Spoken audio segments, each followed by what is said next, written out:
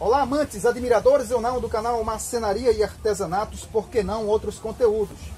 Hoje eu vou estar respondendo uma pergunta de uma inscrita ou não aqui do canal, é, onde ela me fez a, de, a seguinte pergunta: Como você colocou essa, fixou essa base de madeira nesse cachepó aqui, nesse modelo de cachepó, né, que é um modelo tipo leque?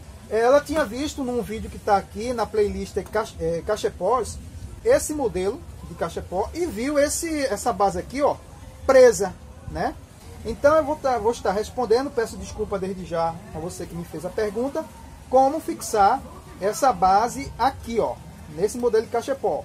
Antes que você me pergunte, o diâmetro dessa, dessa base aqui é de 7 centímetros para esse modelo aqui de cachepó. Possa ser que o seu possa ser mais ou ser menos. Então hoje eu vou estar explicando como fixar essa base aqui dentro, tá bom? Então, vamos precisar da base, né, o tamanho adequado para esse modelo aqui de cachepó. Vamos precisar de uma furadeira ou parafusadeira, um martelo, um alicate que já está aqui, é, uma broca de aproximadamente 2 milímetros, arame galvanizado, ó. Esse aqui, ah, ele tem uma espessura ou um diâmetro de 2 milímetros, tá bom? Eu já cortei aqui três pedacinhos que vão ficar, é, que vão fixar essa base, ó, estão aqui, tem aproximadamente 4 centímetros, ok? E eu vou dar uma dica é, bem bacana, é, porque aqui eu já cortei esse, então eu vou mostrar aqui como você fazer esses cortes. Nunca corte assim, ó.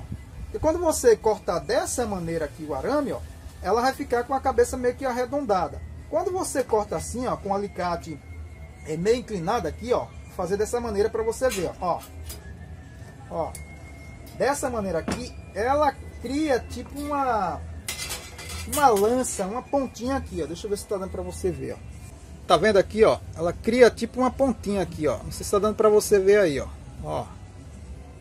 Essa pontinha, ela vai facilitar na hora de entrar aqui no orifício. Então agora eu vou é, colocar a broca aqui de aproximadamente 2 milímetros. Vou colocar aqui assim, ó, você pode estar usando uma parafusadeira ou uma, uma furadeira, tá bom? Deixa a broca um pouco mais para fora. Agora eu vou colocar aqui é, a base, aqui dentro, ó, dessa maneira aqui, ó. Ok? Já está posicionada. Você sempre faz isso numa área plana, ó. Coloca, porque ela fica alinhada. Já está aqui. Agora eu vou fazer dessa maneira aqui, ó. Primeiramente eu vou fazer assim, ó. Eu vou colocar nessa nessa madeirinha de cá, da maior, no caso aqui da maior, eu venho para menor, a primeira aqui, ó. Faço isso, ó. Não não nessa inclinação aqui, ó. Eu faço um pouco inclinado, sentido para fora aqui, ó. Ó, dessa maneira, você vai vendo e vai dar um jeito aí de como fazer o seu, ó. Vou fazer dessa maneira aqui, ó. Pronto, já passou aqui que eu tô vendo, ó. Fiz uma. Aí, na mesma madeirinha menor aqui, ó, tem a maior e a menor, faço no outro lado aqui, ó. Madeirinha maior, madeirinha menor, ó. Faço isso aqui, inclinando aqui aproximadamente uns 30 graus. Ó, aqui tem que ser no olho, ó. Pronto, passou aqui. Agora eu venho aqui, ó, no meio, mais ou menos aqui, ó. No meio. Faço também a mesma coisa, ó. Pronto, tô vendo ali que passou. Venho agora aqui, ó, com o primeiro pedacinho de arame aqui, ó. Venho com o martelinho, ó. Ó. Já vi que ele saiu ali, ó. Quer dizer, passou pra, dessa, daqui dessa madeira para essa. Então agora eu bato com um pouco mais de força, ó. E vou inclinando também a posição do martelo, para não machucar muito a madeira. Faço isso aqui agora. Pronto, aqui eu estou vendo que não me, machuca, a ponta né, do arame. Coloco aqui nesse também, ó. Faço isso, ó. Posso usar o alicate? Pode. Vou fazer dessa maneira aqui, ó. ó. Pronto. Estou vendo que ainda está é, com a pontinha aqui, ó. ó. Pronto. Vou usar o outro aqui de lado, ó. Também. Deixa eu só colocar aqui assim, ó.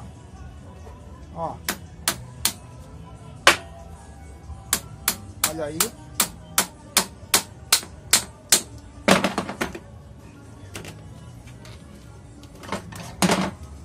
É, deixa eu só colocar agora aqui assim, peraí. Tô com um pouco de sem jeito aqui, ó. Vou bater dessa maneira aqui.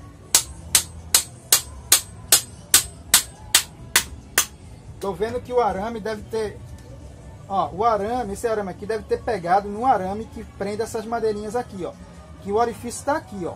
Ele passou para um outro lugar. Aí eu faço o quê? Com certifico, certifico se a base está plana aqui, ó. Ó, deixa eu ver se está tá plana. Então, se ele pegou um outro percurso, eu vou aqui, ó, e bato mais um pouco, ó. É bom porque ele já entra acochado, ó. Pronto, já entrou aqui, ó, ó. Pronto. E aqui a base está presa, tá vendo? Ó. E aqui não tem mais como cair. Vou fazer força aqui, ó. Tá vendo? Ó. Não tem mais como o, colocar um vaso aqui e a base cair. Beleza? Então, essa foi a pergunta que a inscrita ou não aqui do canal me fez e eu disse que ia fazer um vídeo para ensinar a ela como fazer isso e aqueles que vão trabalhar com esse modelo de cachepó, tá bom? Então a pergunta dela pode estar respondendo é, a pergunta de várias pessoas. Então, gente, vou ficando por aqui, tá bom? É, no próximo vídeo eu vou estar ensinando é, como deixar esse arame aqui, ó, né, vários arames bem retinho, como esse aqui, para você trabalhar com caixa pós, na montagem de caixa pós, tá bom? Um forte abraço a todos e não se esqueça de deixar seu like, tá bom, gente? Eu tenho visto aí que o YouTube parece que não está notificando as pessoas.